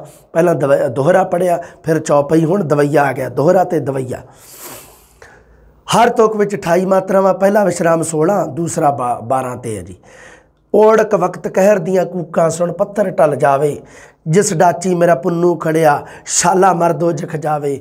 ਜਾਂ ਉਸ ਨੇਹੋ ਲੱਗੇ ਵਿੱਚ ਬਿਰਹੋਂ ਬਾਗ ਸਸੀ ਜਲ ਜਾਵੇ। ਹਾਸ਼ਮ ਮੌਤ ਪਵੇ ਕਰਵਾਨਾ ਤੁਖਮ ਜ਼ਮੀਨ ਹੋ ਜਾਵੇ। ਰਾਤੀ ਨੀਂਦ ਆਰਾਮ ਨਾ ਆਵੇ, ਦਿਨ ਰਹੇ ਨਿਤ ਰਾਹੀ, ਹਾਸ਼ਮ ਜਾਨ ਛੁਡਾਵਨ ਮੁਸ਼ਕਲ, ਬੁਰੀ ਇਸ਼ਕ ਦੀ ਫਾਹੀ, ਆਹੀ ਮਾਰੇ ਤੇ ਗਮ ਖਾਵੇ, ਪੀਵੇ ਖੂਨ ਜਿਗਰ ਦਾ, ਰੋਵੇ ਪੀੜ ਕਰੇ ਦਿਲ ਕਾਇਲ, ਜ਼ਖਮੀ ਵਸਲ ਹਿਜਰ ਦਾ। ਕਰ ਲਿਓ ਇਹਦੀ ਗਿਣਤੀ ਗਿਣਤੀ ਕਰਨ ਦਾ ਤਰੀਕਾ 16 12 ਓੜਕ ਵਕਤ ਕਹਿਰ ਦੀਆਂ ਕੂਕਾਂ 1 2 ਊੜੇ ਨੂੰ ਹੋੜੇ ਦੀ ਮਾਤਰਾ, ਦੋ ਮਾਤਰਾ ਦੋ ਤੇ 2 4 ਤੇ 3 7 ਤੇ 3 10 10 ਤੇ 2 12 2 14 2 16 ਤੇ 1 17 17 18 ਮਤ 17 ਕ ਬਣਨੀ ਹੈ ਇਧਰ ਸੁਣ ਪੱਥਰ, ਕਿਉਂਕਿ ਇਹ ਥੋੜਾ ਜਿਹਾ ਲੰਮੀ ਹੈ, ਪੰਕਤੀ ਥੋੜੀ ਜੀ ਲੱਗਦੀ ਵੀ ਹੈ ਦੇਖਣ ਦੇ ਵਿੱਚ। ਮੱਧ ਕਾਲ ਦੇ ਵਿੱਚ ਹਾਸ਼ਮ ਸ਼ਾਹ ਕੋਈ ਕਿਹੜਾ ਬਾਲਾ ਪੜਿਆ ਲਿਖਿਆ ਸੀ ਵਿਚਾਰਾ। ਉਹਨੇ ਫਿਰ ਥੋੜਾ ਜਿਹਾ ਇਸ ਚੀਜ਼ ਨੂੰ ਆਪਣੇ ਹਿਸਾਬ ਦੇ ਨਾਲ ਟਿਕਾ ਕੇ ਕੀਤਾ। ਪਰ ਇਹ ਕੀ ਹੈ, ਕਿ ਇਹ ਦਵਈਆ ਛੰਦ ਹੈ? 16 12 ਦਾ ਵਿਸ਼ਰਾਮ ਆਊਗਾ, ਆਹ ਹੀ ਉਦਾਹਰਣ ਚੇਤੇ ਰੱਖਣੇ ਆ। ਇਹਨਾਂ ਦੇ ਵਿੱਚੋਂ ਹੀ ਉਦਾਹਰਣ ਆਊਗਾ ਉੱਥੇ ਆ ਜਿਹੜੇ ਲਿਖੇ ਹੋਏ ਆ। ਅੱਗੇ ਗੱਲ ਕਰਦੇ ਆ ਆਪਾਂ ਬੈਂਤ ਛੰਦ ਦੀ। ਅਰਬੀ ਫਾਰਸੀ ਦੇ ਵਿੱਚੋਂ ਆਇਆ, ਪੰਜਾਬੀ ਦੇ ਵਿੱਚ ਬੈਂਤ ਛੰਦ। 40 ਮਾਤਰਾ ਹੁੰਦੀਆਂ, ਪਹਿਲਾ ਵਿਸ਼ਰਾਮ 19 ਜਾਂ 20 ਤੇ, ਦੂਜਾ 20 ਜਾਂ 21 ਤੇ। ਤੋ ਬੈਂਤ ਦਾ ਜਿਹੜਾ ਤੁਕਾਤ ਮੇਲ ਹੁੰਦਾ ਉਸ ਨੂੰ ਫਾਰਸੀ ਦੇ ਵਿੱਚ ਕਾਫੀਆ ਰਦੀਫ ਕਿਹਾ ਜਾਂਦਾ ਹੈ। ਤੁਕਾਂ ਦੀ ਗਿਣਤੀ 4 ਤੋਂ ਲੈ ਕੇ 20 22 ਹੋ ਸਕਦੀ ਹੈ, ਕਿੰਨੀ ਵੀ ਹੋ ਸਕਦੀ ਹੈ। ਆ ਦੇਖੋ ਜੀ ਆ ਉਦਾਹਰਣ ਦਿੱਤਾ ਹੋਇਆ ਬੈਂਤ ਛੰਦ ਦਾ। ਤੇਰੀ ਖੋਜ ਵਿੱਚ ਅਕਲ ਦੇ ਖੰਭ ਝੜ ਗਏ, ਤੇਰੀ ਭਾਲ ਵਿੱਚ ਥੋਥਾ ਖਿਆਲ ਹੋਇਆ। ਲੱਖਾਂ ਉਂਜਲਾਂ ਗੁੰਝ ਲੱਖਾਂ ਉਂਗਲਾਂ ਗੁੰਝਲਾਂ ਖੋਲ ਥੱਕੀਆਂ, ਤੇਰੀ ਜ਼ੁਲਫ ਦਾ ਸਿੱਧਾ ਨਾ ਵਾਲ ਹੋਇਆ। ਗਿੱਗੀ ਵੱਜ ਗਈ ਸੰਖਾਂ ਦੀ ਰੋ ਰੋ ਕੇ ਪਿੱਟ ਪਿੱਟ ਕੇ ਚੂਰ ਕੜਿਆਲ ਹੋਇਆ। ਚੀਕ ਚੀਕ ਕੇ ਕਲਮ ਦੀ ਜੀਬ ਪਾਟੀ, ਅਜੇ ਹੱਲ ਨਾ ਤੇਰਾ ਸਵਾਲ ਹੋਇਆ। ਲਓ ਜੀ, ਇੱਕ ਉਦਾਹਰਣ ਪ੍ਰਸਿੱਧ ਹੈ, ਇਹ ਵੀ ਦੇਤਾ ਮੈਂ। ਹੀਰੇ ਅੱਖ ਦੀ ਜੋਗੀਆ ਝੂਠ ਬੋਲੇ, ਕੌਣ ਰੁਸੜੇ ਯਾਰ ਮਨਾਵਦਾ ਈ ਐਸਾ ਕੋਈ ਨਾ ਮਿਲਿਆ ਵੇ, ਮੈਂ ਢੂੰਡ ਥੱਕੀ। ਜਿਹੜਾ ਗਿਆਨ ਨੂੰ ਮੋੜ ਲਿਆਵਦਾ ਈ ਸਾਡੇ ਚੰਮ ਦੀਆਂ ਜੁੱਤੀਆਂ ਕਰੇ ਕੋਈ, ਜਿਹੜਾ ਜੀਵ ਦਾ ਰੋਗ ਗਵਾਵਦਾ ਈ ਭਲਾ ਦੱਸ ਕਾ ਚਿਰੀ ਵਿਸ਼ੁੰਨਿਆਂ ਨੂੰ, ਕਦੋਂ ਰੱਬ ਸੱਚਾ ਕਰੀ ਲਿਆਵਦਾ ਈ ਇਹ ਹੈ ਜਿਹੜਾ ਸਾਡਾ ਇਹ ਬੈਤ ਛੰਦ ਹੈ 19 ਜਾਂ 20 ਤੇ ਦੂਜਾ ਵਿਸ਼ਰਾਮ ਵੀ 20 ਤੇ 20 ਤੇ 20 40 40 ਜਾਂ 41 ਕੋਈ ਦਿੱਕਤ ਨਹੀਂ ਹੋ ਜਾਣ। 40 ਤੋਂ 41 42 ਇਹ ਸਾਡਾ ਬੈਂਤ ਛੰਦ ਰਹੂਗਾ। ਬੈਤ ਛੰਦ ਦੀ ਉਦਾਹਰਣ ਆਪਾਂ ਪੜ੍ਹੀ। ਸਭ ਤੋਂ ਪਹਿਲਾਂ ਆਪਾਂ ਪੜ੍ਹੇ ਵਰਨਿਕ ਛੰਦ, ਫਿਰ ਆਪਾਂ ਮਾਤਰਿਕ ਛੰਦ। ਵਰਣਿਕ ਛੰਦ ਦੇ ਵਿੱਚ ਆਪਾਂ ਕਿਹੜੇ ਕਿਹੜੇ ਪੜ੍ਹੇ ਸੀਗੇ? ਕੋਰੜਾ ਤੇ ਕਬਿਤ ਦੋਨੋਂ। ਮਾਤਰਿਕ ਛੰਦ ਦੇ ਵਿੱਚ ਆਪਾਂ ਦੋਹਰਾ, ਚੌਪਈ, ਦਵਈਆ ਤੇ ਬੈਂਤ, ਇਹ ਚਾਰ ਪੜ੍ਹੇ ਆ। ਇਹਨਾਂ ਦੀਆਂ ਧਿਆਨ ਰੱਖਿਓ। ਜਿਵੇਂ ਕਿ ਸਭ ਤੋਂ ਪਹਿਲਾਂ ਕੋਰੜੇ ਦੇ ਵਿੱਚ 13 ਜਾਂ 14 ਵਰਨ ਹੁੰਦੇ ਆ। ਸਭ ਤੋਂ ਪਹਿਲਾਂ ਧਿਆਨ ਰੱਖਿਓ, ਕੋਰੜੇ ਦੇ ਵਿੱਚ 13 ਜਾਂ 14 ਵਰਨ ਹੁੰਦੇ ਆ। ਤੋ 13 ਜਾਂ 14 ਵਰਨ ਹੋਣਗੇ। ਕਬਿਤ ਦੇ ਵਿੱਚ ਕਿੰਨੇ ਹੁੰਦੇ ਆ? ਦੇਖ ਲਓ 31 ਜਾਂ 32 ਵਰਨ ਹੋਣਗੇ। ਅੱਗੇ ਮਾਤਰਾ ਦੇ ਵਿੱਚ ਮਾਤਰਾ ਦੀ ਗਿਣਤੀ। ਦੋਹਰੇ ਦੇ ਵਿੱਚ 23 ਜਾਂ 24 ਮਾਤਰਾ ਹੁੰਦੀਆਂ। ਚੌਪਈ ਦੇ ਵਿੱਚ 15 ਜਾਂ 16 ਮਾਤਰਾ ਹੁੰਦੀਆਂ। ਦਵਈਏ ਦੇ ਵਿੱਚ 28 ਮਾਤਰਾ ਹੁੰਦੀਆਂ ਤੇ ਬੈਂਤ ਦੇ ਵਿੱਚ 40 ਮਾਤਰਾ ਹੁੰਦੀਆਂ ਹਨ। 40 ਜਾਂ 41 ਕੋਈ ਦਿੱਕਤ ਨਹੀਂ। ਹੋ ਸਕਦੀਆਂ। ਲਓ ਜੀ, ਆਪਣੀ ਅਗਲੀ ਜਮਾਤ ਤੁਹਾਨੂੰ ਪਤਾ ਹੀ ਹੈ, ਅਲੰਕਾਰ ਹੈ। ਅਲੰਕਾਰਾਂ ਦੇ ਬਾਰੇ ਆਪਾਂ ਜਲਦੀ ਗੱਲ ਕਰਾਂਗੇ ਜੀ। ਮਿਲਦੇ ਹਾਂ ਜਲਦੀ। ਸਤਿ ਸ੍ਰੀ ਅਕਾਲ।